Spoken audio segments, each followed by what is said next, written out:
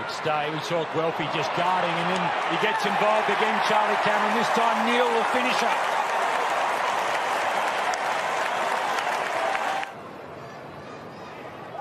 Goldstein through the fingers of Dumont, which leaves it sitting there. Neale pounced and went a second time.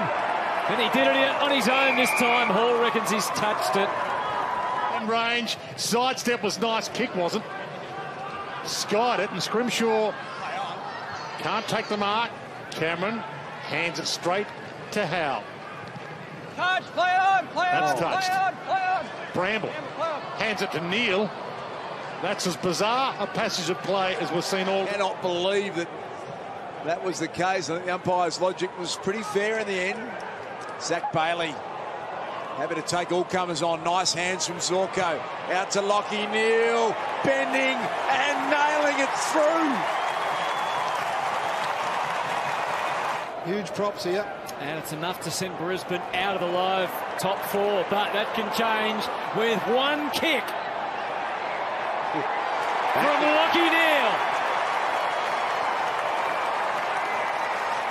Sensing something happening. Out of bounds. That was out. That was out of bounds. That was out of bounds. That was out of bounds.